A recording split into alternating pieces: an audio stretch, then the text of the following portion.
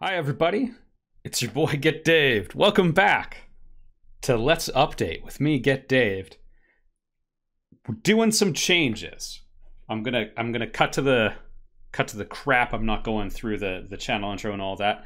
I'm gonna be closing down the channel Patreon, and I'm gonna stop officially having a streaming schedule. Now we're gonna get into the why. So that seemed a bit harsh. It's gonna be okay. Also, who cares? But it's gonna be okay. So, a couple things. I kind of just don't want to do it anymore. Now, when I say that, I don't mean sharing video games and making videos and recording that sort of stuff or streaming it. I don't, I, I want to keep doing that. I don't know what on what schedule, but I still care about that. I still have these little treasures that I like sharing. And that's one of two reasons I started the channel in the first place. And I'm going to talk about the history of YouTube a little bit, and we'll go down memory lane. Um, that we'll talk about a lot of things.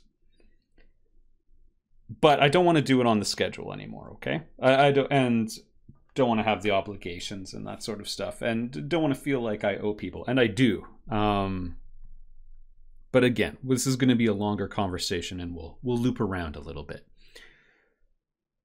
When I started, YouTube, there was a ton of gaming content on it, kind of. It was constantly being like hunted down by copyright protection bots. Let's plays were largely seen as illegal, and you were um, playing with fire, recording it, and you didn't own the video game. Now, the I, I don't dispute that. You know, you don't own the rights to distribute the video game, but people would talk about it like piracy when it's like, yeah, but it's the performance of the game, you know? If I bought a soccer ball and then someone recorded me like playing with it and scoring a goal, I don't owe Adidas money, in my opinion, because they manufactured the ball. And there was a lot of talk about, oh, is it transformative work or whatever. And this was mixed up with people, you know, just uploading soundtracks, which still happens, and and having no commentary playthroughs or whatever. But it was this whole thing, and people were getting squashed left and right, and people were trying to find like safe companies to let's play their stuff and everything. And Man, what a mess. My point is, with all this resistance, it was not particularly profitable or anything, but there was just so much enthusiasm. And it was a much smaller community. There were maybe a few big LPers, but relatively small community. There would only be like one Let's Play per game, and it was kind of seen as like rude to make one in the same series or whatever. And, and I don't know, it was really cool and really tight. And then within that, Angry Video Game Nerd was really, really popular. And I mean no disrespect to him when I say that that I didn't really like people like copying that like high rage, high intensity thing. And I sometimes I, I can rage, but by default, you know, I'm just one part thinking critically about the games and two just really enjoying it and wanting to share it because I have this personality type where if I like something, it's not enough for me to like it. I have to proselytize about it to everyone around me. And YouTube was just really good at enabling enabling that. So that's what I loved. Okay? The the climate's changed a lot over the years. YouTube is much bigger. It's much more corporate. Um, you don't get the copyright strikes. It's actually the other way around now, where you know, back in the day, it was a big deal. Like you had a Let's Play channel and you became a YouTube partner. You got your channel got monetized. Now everything is monetized. I have to do quite a bit of work to get as few ads in the videos as possible. It's annoying. The rating system, you used to be able to rate videos. You would give them stars, zero to five stars, like you're rating a movie, like you're a movie critic, because it's a video. And then they're like, "Oh, well, so many people are just doing five and zero. We're just going to turn it up, turn it into thumbs up and thumbs down." And then they're like, well, actually, people are thumbs downing these EA videos and our YouTube rewinds and everything. So we're going to let them keep thumbs downing, but we're going to hide the number. You know, don't let them know that other people dislike the same thing. And it's just, I don't know. That that's less fun. Like you're taking some of the risk. It's it's a playground where no one can fall and get hurt. You can make a safe playground, but it won't be any fun to play in. Anyway, it used to be able to leave video replies back in the day, and people would have quote conversations, often insult fests uh, in the in the comment section. But I don't know, it felt a little bit more like a pirate ship, and I liked it. Now now it feels more like um, a highly bureaucratic enterprise, the Captain Jellicoe enterprise. Um, and the other thing is just like video gaming content is just handled very differently. And there's some stuff I like better that just didn't exist before. And then there's some stuff that I really feel is lost. And again, I could say, like, I'm going to make a YouTube channel doing what I like to do. And that's what I've been doing for a while. I just tried to make it all about the games. I had one person tell me, like, oh, Dave's all about the audience. No, it was all about the game. Uh, I'm trying to share it with you guys. Um, but I don't see myself as someone who's ever playing to the to the crowd. I was trying to like hold this thing up so you guys could all see it and share my enthusiasm for it so you could kind of see the beauty I see in it. That was always the dream. And to do it, you know, not screaming as often as some other people. Uh, the other catch is just the the culture of let's plays on YouTube is very very different now. Again, I think YouTube kind of has like Twitch fighting for gaming content and they decided to really pivot and they're going more after like viral and TikToky sort of stuff or whatever, and that'll change in two years, and who cares? But man, they don't want let's plays on the on the on the platform really. And there was a time when everything was gold, and you could end up on the YouTube front page and stuff like that. You can do that now if you have like a video essay about games, or if you're doing like some really fun thing with a bunch of other streamers, and th- there's a little bit of an angle there, but not like an LP anymore. I think of a channel like Game Grumps, which I've enjoyed over the years. Not always in all, in all of its forms, but in general, I really liked it. And you know, when they started, they were just gaining subscribers so fast, and they were getting views. And Danny came on, and they had a really good dynamic, I think.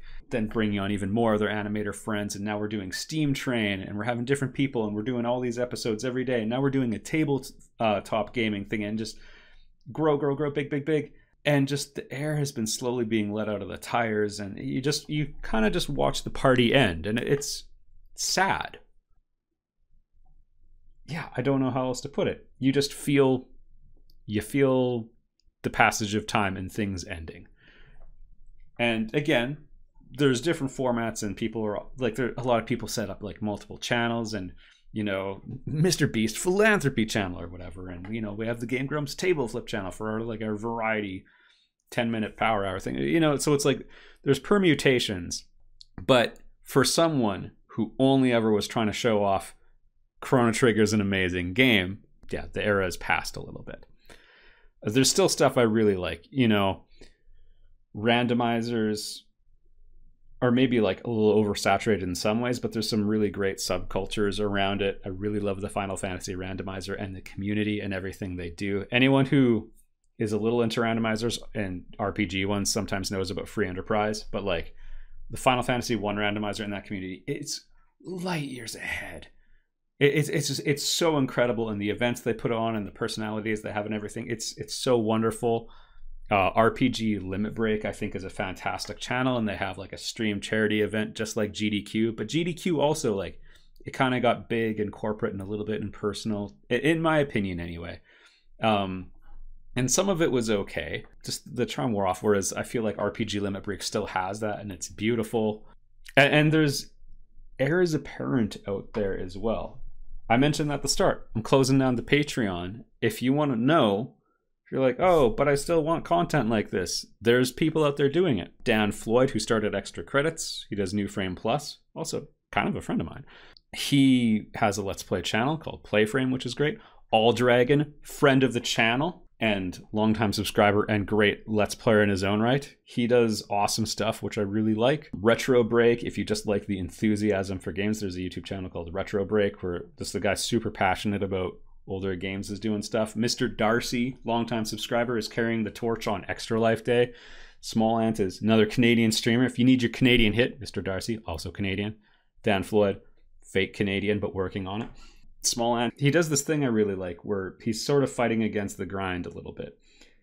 When a new game comes out, you know, let's imagine Breath of the Wild comes out and it's special sometimes a game comes out and it's a big deal. Final Fantasy VII Rebirth just came out, and it is a big deal.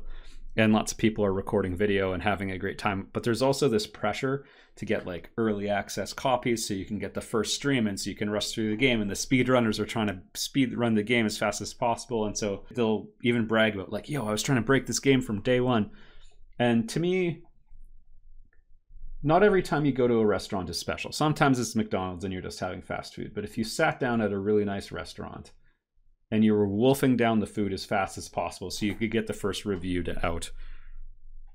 Again, for someone who wants to put a game on a pedestal and show everyone like this is a treasure, this is beautiful, let me tell you how. That sort of stuff is just so disillusioning to me. Anyway, I respect a guy like SmallAnt because he's still cranking out Pokemon Emerald videos years later and is exploring these depths of what if we mod it so that we can't use items? What if we mod it so we can only use items? What if we do all these things? Trying to, yeah, just exploring the depths of it. I think that sort of stuff's super cool. Anyway, my point is like there's been an era that has ended and there's exciting new stuff as well. But for me, I, I, I feel the shift. So I want to dial it back gonna rethink just how I want to do things, but I want to just go back to having true independence. Whenever someone offers me money to do something, I think I've still said no every single time without fail. Um, I humored one thing once and then kind of regretted it, and it didn't amount to anything anyway. But yeah, I want to go back to that full independence and then just have some schedule independence and then come back when there's something I do feel like really slipped through the cracks, and it's like, hey, gang, I found something beautiful. That's my take anyway.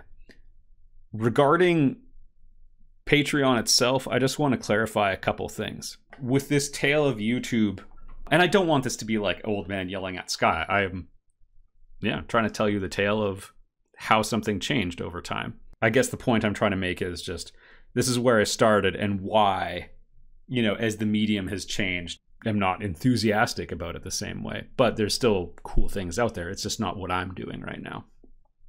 I will miss things like regular commenters and co-op events I would do with LPers and stuff. And again, that's seen sort of change, which is, you know, leading to me to this decision. Uh, showing off the games I love, obviously, and that one I still want to find ways to sneak in.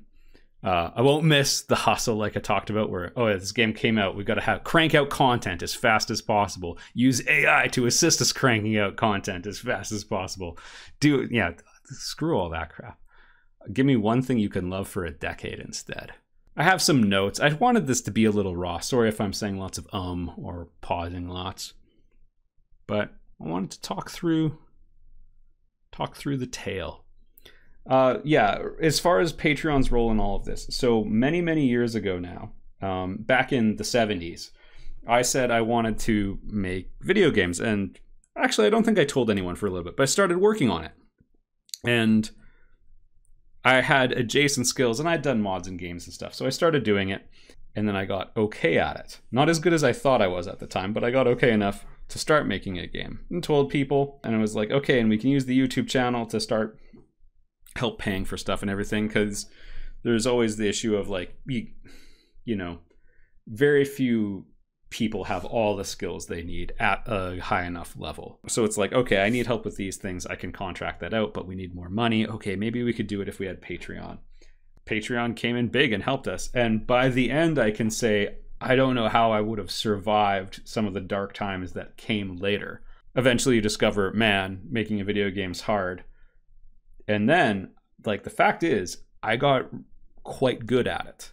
Good enough to have a really good industry job now.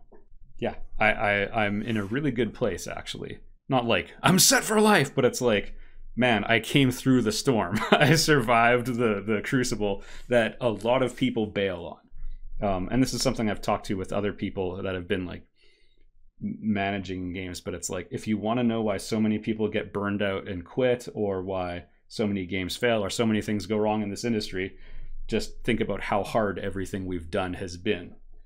Um, and yeah, I did have very hard times. I've mentioned this in other videos, but uh, you know, I got an illness that nearly killed me. Patreon came through, kept us financially alive, so I could become physically, you know, stable again. There was a two year stretch where we were just like depleting savings, trying to finish Reyna, which we never were able to finish. The the day I got the last asset to finish Reyna, we were gonna redo the final boss fight. Everything else was done. Just the final boss fight was left. And we're just going to redo it because, again, I'd redone it twice already, but it's like, this has to be just right. You know, I'm not trying to be perfectionist, but this one's got to be good the next day was September 12th, and that was the day Unity announced their terms of service changes, which effectively, I think a lot of people haven't fully seen through the the the full implications of what will happen. A lot of attention got stolen up by this uh, installation fee they were going to charge people whenever they installed the game. Slipping beyond notice was this thing that where they like quietly abolished the mid pricing tier, and then they didn't have mixed licenses, which basically means if you as a studio make more than $100,000 a year US. Um, and this is your this isn't your game makes that much. This is your studio has that much revenue. Then every single person at your company who uses Unity has to switch to a version where you have to give them a couple thousand dollars a year every year. And I mean kind of forever. And to save money, we transferred as many people and as many things to Unity as possible maximizing the financial hit that would impact. And and again you carry that forward in perpetuity and they you know i've had the experience of having a, a license officer from from unity come to us and be like hey we noticed some of you have mixed licenses. You have to give us more money. So it's like all of that happened with Reyna on the last day. So it's like we can't release it. But i was able to secure the rights to absolutely every single asset that was ever created for us there was a bit where we had stake share and everything and a bunch of things 100% of that has been recovered. We never did have a publisher for Reyna. It was always self published, which made it so hard sometimes. On on scale, the, the, hardest thing I've ever done in my life, which might not mean a lot to you, but I've done some hard crap, and this was leagues ahead because it's just hard to do stuff with limited money. Um, but we actually did it. Had some deals, some rev share deals, and everything, but we got it all back. If you like are in a situation like this, the publisher could be like, mm, "We're throwing it away, but we're keeping the IP, and you lose all of your ideas because you sign them over to us, or we control them, and you need our permission if you want to do something again." Or there can be all sorts of problems. None of that happened. We own everything, which means we can take all of that hard work, every 3D asset, every sound effect, every line of dialogue, every bit of story. That's all good. That's all game engine independent, and it's also genre independent. So been sitting down with friends because I've made some friends in the gaming industry over the years and be like, hey, we could make whatever game we want with these things. We have we have these ingredients and we can use whatever we want and we can throw away whatever we want and we can yeah, we have some interesting possibilities. We could even go to a publisher for round 2 if we wanted. So, we're looking into those sorts of things. If you're wondering what the Patreon did, it enabled that. Who knows where it will go? It kept me alive. Genuinely. I mean, obviously, this overlaps with something that comes up in a lot of strategy games where people are like, oh, Dave would have lost if he didn't have this one thing happen. But it's like, well, if that one thing didn't happen, I would have tried finding a different thing. So who knows what life would have like looked like without Patreon, but it would look drastically different and it's hard to imagine anything being easier. So for everyone who supported me there, thank you very much. If there's anything I can do for you, let me know. I really do mean that. I keep I've asked many times when I was like, "Hey guys, is there any like creative thing, you know, print print the poster, the channel art, and sign it or something?" But people were cool. Anyway, if there is a thank you I can give, I'm interested. I do have a decent backlog, so there's that. Anyway, that's the state of the channel. If you're wondering, oh, where will I go for my content now? Like I said, I have those things I recommended before, and I can put links to them in the comment section, um, or or in the description. Sorry. So that's the tale. Thank you for humoring me. Sorry if this comes as bad news, but I thought people would want to know. There's been like this giant black hole. A lot of this stuff has come in through Steam updates, which not everyone watches, or conversations on the Discord server, which not everyone is part of. So I just wanted to share it here and uh, yeah, loop people in and yeah, kind of just explain the new medium term plan for for the channel and just what I'm going to be up to and everything. Um, don't cry for me. Uh, and I'm sure a lot of people like could feel it coming slowly. A lot of what I've been streaming lately has been me trying to wrap up loose ends and like close off the last LPs and everything, unfinished stuff that I wanted to come back to. Um, not you, Kingdom Hearts 3. But that's where we are. Thank you for for listening. Thanks for being fans of the channel this long. If you are, or if this is your first time here, hello and welcome. Get Daved. There's a nice backlog. There's an okay backlog. It's mixed. I like the FF7 one and the second Chrono Trigger one. and Dragon Quest Builders too. There's some real treasures there. Check it out. Anyway, thank you everybody. You've been very good to me, and I appreciate it. And not exactly going to take a break, but going to do a change up and think about it and think about it truly. I do want to mention one other just very tiny thing in passing. You might think like, "Oh, but Dave, you're saying all these things and, you know, basically it means it's the end." Because of the difficulty of the last several years and like the the efforts of game design and I've gone from like well, one 2023, 2024 bad time for a lot of game devs. A lot of publishers clamping down on money, a lot of studios shut down and everything. It's been a desperate time, which I think everybody knows in general. Um, but it has led to a lot of overtime, a lot of hard work, a lot of hard struggles. And for me, if you add up all of the days off, for example, I have had in the last four years, it totals about seven weeks. If you subtract from that the, the which I uh, earned through overtime work, it turns into more than negative one year. Um, by quite a bit, actually. That's not, yeah, that's not even counting overtime worked for myself. Uh, and that's not counting any channel stuff. I go from that to, uh, let's just say, a much better situation. One of those good jobs, and very rare ones to come across in tech. The struggles have been worth it. I survived the the culling. I became one of those people with experience eligible for senior positions who have yeah survived. And there's a lot more opportunity now. If you only have five days off a year it's hard to think about spending them recording a video game. And that's been my situation for a long time. And that's part of why but the channel's been so hard too. I have thus far ended up in a better place and i'm very happy. And again there is kind of like a giant reset happening in my life in so many ways and i'm really looking forward to it and i'm kind of looking forward to having life back and part of it comes into this, and it comes into having a lot less financial desperation compared to before when it's like, it's just the Dave show. I'm terminally ill in a hospital bed during the COVID 19 pandemic lockdown. So I'm sealed off from everybody else, including the doctors trying to discover that I don't have COVID. I have something else. So they have to actually figure out what it is. Yeah, that was my situation, all while burning through savings with no publisher and no other people working on the project at the time. That was the level of desperation at one point. Now it's it's just a lot more relaxed. So I am hopeful that actually I'll be able to maybe do more stuff, but in a different way. I don't know. Might do more streaming, might do less. Might do obscure stuff that no one but me will care about, like that Snow Bros LP. Uh, who knows? But it's a new beginning, and I'm super excited about it. And we got there through just misery because of a lot of help from you guys and because of the YouTube channel and because of Patreon and because of everything. And there's still cool stuff out there and let's see what happens is basically what I'm saying. Sorry that I talked in circles a couple times, but you know, there's like a lot of years and a lot of layers I'm trying to sort through. See you all in the next Let's Play.